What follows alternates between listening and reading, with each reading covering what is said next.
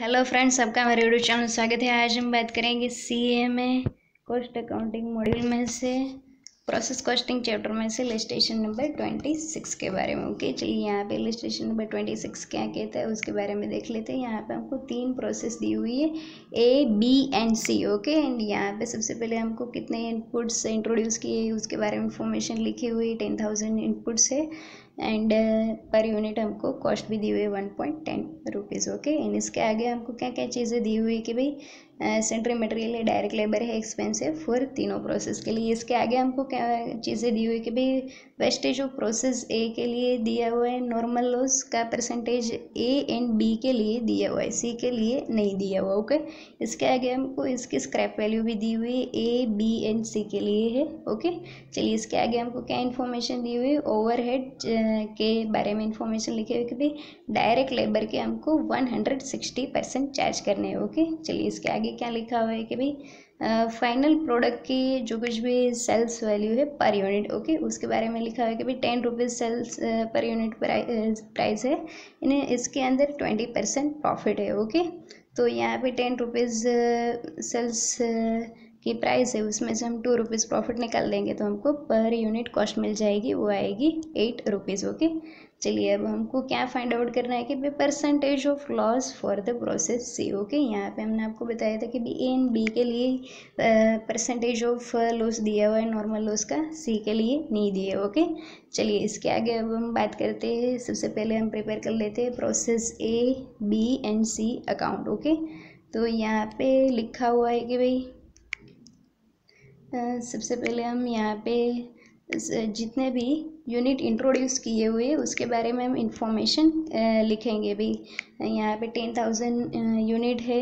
Okay? यानी इसको हम मल्टीप्लाई कर देंगे वन पॉइंट टेन से तो हमको इसकी अमाउंट मिल जाएगी। इसके आगे additional material direct labour direct expense over के बारे में इंफॉर्मेशन पुट कर दीजिए। डेबिट साइड चलिए, अब हम क्रेडिट साइड आ जाते हैं तो यहाँ पे इनपुट के फाइव परसेंट टेन है तो हमको नॉर्मल लॉस का यूनिट मिल जाएगा। इसको स्क्रैप वैल्यू के साथ मल्टीप्लाई कर देंगे तो हमको नॉर्मल लॉस का अमाउंट भी मिल जाएगा, ओके? यहाँ पे दोनों चीज़ें ट्रांसफ़र टू प्रोसेस भी, ओके? तो ये आपकी बन जाएगी बैलेंसिंग फिगर ओके? इनपुट में से नॉर्मल लॉस लेस कर देंगे तो हमको a nine thousand five hundred unit मिल जाएगा, जो यहाँ पे प्रोसेस बी में ट्रांसफ़र हम कर देंगे। एंड इसकी अमाउंट भी बैलेंसिंग फिगर की अमाउंट ही है, ओके? वो भी हम यहाँ पे प्रोसेस बी में ट्रांसफ़र कर देंगे। उसके बारे, बाद में material, labour, expenses and overhead की इन्फॉर्मेशन डेबिट साइड पूर पुट कर देंगे।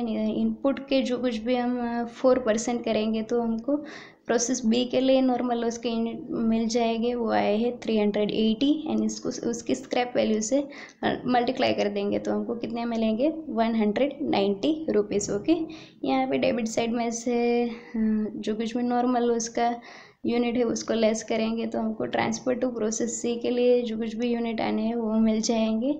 एंड डेबिट साइड का जो कुछ भी टोटल है, उसमें से नॉर्मल लॉस की अमाउंट लेस कर देंगे तो हमको transfer to process C account के लिए अमाउंट भी मिल जाएगी ओके तो यहाँ पे हमने इसको यहाँ पे ट्रांसफ़र कर ही दिया है debit side okay transfer from process B लिख के ये दोनों चीज़ें हमने यहाँ पे लिख दी है। उसके बाद में material labour direct expenses overhead की भी इंफॉर्मेशन पुट कर दी है। चलिए अब हम मेन बात आती है जो हमको यहाँ पे फाइंड आउट करना है नॉर्मल लॉस ओके तो यहाँ पे हमारे पास नॉर्मल लॉस हमको क्वेश्चन में नहीं दिया हुआ, इसलिए यहाँ पे हमने एक्स यूनिट अज्यूम कर लिया है ओके एंड इसी एक्स को हम, इसकी स्क्रैप वैल्यू है वन रुपीज़ उससे मल्टीप्लाई करेंगे तो हमको उसकी अमाउंट भी मिल जाएगी एक्स रुपीज़ ओके चलिए अब हम बात करेंगे transfer to finish stock account okay तो हमने यहाँ पे सबसे पहले बात की थी क्वेश्चन में कि हमको sales price per unit ten rupees दी हुई इसमें से ट्वेंटी परसेंट प्रॉफिट लेस करेंगे तो कॉस्ट की पर यूनिट हमको प्राइस मिल जाएगी, वो आई है एट रुपीज़ ओके एट को हम मल्टीप्लाई कर देते हैं यदि किससे? तो वो भी मैं आपको बताती कि भाई इनपुट का टोटल हमारे पास nine nine thousand one hundred twenty उसमें से नॉर्मल लॉस की यूनिट लेस कर देते थे यहाँ पे। हमारे पास है नहीं, हमने अज्यूम किया है एक्स को। ओके इन दोनों को हम यदि मल्टीप्लाई कर देते हैं X into this unit okay तो हमको क्या मिल जाएगा? कि भाई जो कुछ भी फिनिश स्टॉक की अमाउंट है, वो मिल सकती है ओके इसको हम दूसरी तरह से भी लिख सकते हैं कि भाई डेबिट साइड का टोटल है sixty eight thousand eighty eight hundred rupees okay उसमें से नॉर्मल उसकी अमाउंट लेस कर देते हैं तो यहाँ पे हमारे पास एक्स रुपीज़ है ओके तो उस प्रकार से भी हमको ट्रांसफ़र टू फिनिश स्टॉक की अमाउंट मिल सकती है ओके चलिए यहाँ पे एक्स की वैल्यू क्या आएगी? वो हम सबसे पहले देख लेते। हैं यहाँ पे हमने एक्स को अज्यूम किया है स्क्रैप वैल्यू के बारे में भी हमने बात कर ली है। तो हमको ये फॉर्मूला मिला है कि भाई फिनिश स्टॉक के लिए कि भाई sixty eight thousand eighty eight hundred minus X okay is equal to हम इसको दूसरी तरह से भी लिख सकते हैं। वो भी मैंने आपको बताया था कि भाई eight into this unit okay ninety nine thousand one hundred twenty minus X unit, okay? चलिए इसको हम सिंप्लीफाई करते हैं तो यहाँ पे एक्स इंटू एट करेंगे तो हमको क्या मिलेगा? माइनस एट एक्स, यानी इन दोनों का टोटल कर मल्टीप्लिकेशन करेंगे eight into nine thousand one hundred twenty तो हमको कितने मिलेंगे? Seventy two thousand nine hundred sixty, okay? यहाँ पे एट एक्स माइनस में है इक्वल्स के इस साइड आएँगे तो क्या हो जाएगी? प्लस हो जाएगी ओके तो एट एक्स यहाँ पे ऑलरेडी माइनस एक्स है ही तो एट एक्स में से वन एक्स निकल जाएगा तो क्या बचेगा?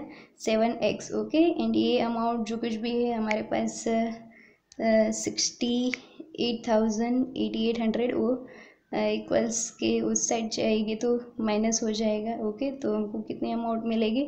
Four thousand eight hundred seventy two okay यहाँ पे एक सेवन मल्टीप्लिकेशन में उस साइड जाएगा तो डिवीज़न में आ जाएगा ओके तो हमको एक्स की वैल वैल्यू मिल गई है six hundred ninety six unit okay चलिए अब हम नॉर्मल लॉस की, यहाँ पे हम सबसे पहले टेबल पर कंप्लीट कर देते कि भाई यहाँ पे हमारे पास कितने आए हैं?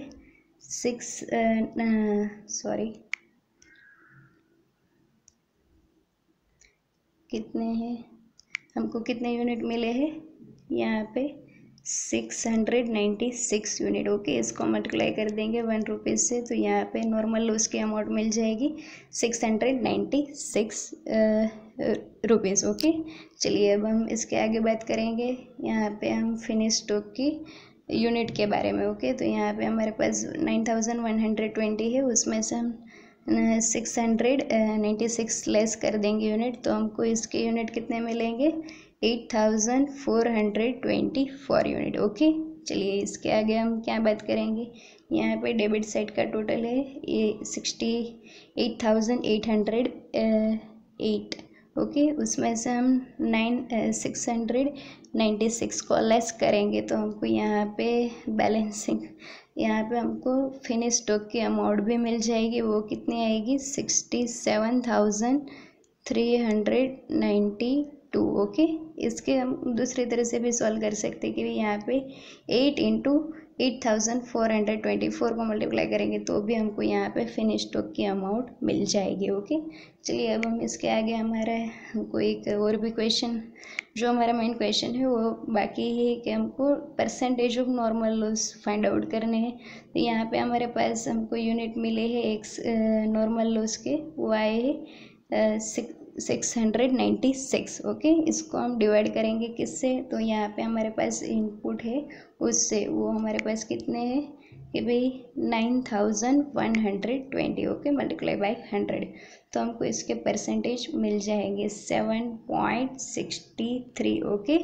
आप इसको क्रॉस चेक भी कर सकते हैं। यहाँ पे हमारे पास है nine thousand one hundred twenty, उसको मल्टीप्लाई कर दीजिए इस परसेंटेज से तो आपको इतने ही यूनिट मिलेंगे okay six thousand six hundred ninety six unit okay तो आप इस प्रकार से illustration number twenty six solve कर सकते हैं। यदि आपको इसके अंदर कोई डाउट लगे तो मुझे कमेंट बॉक्स के अंदर पूछना ना भूलें। इस चैनल को लाइक एंड सब्सक्राइब जो गए thanks for watching this video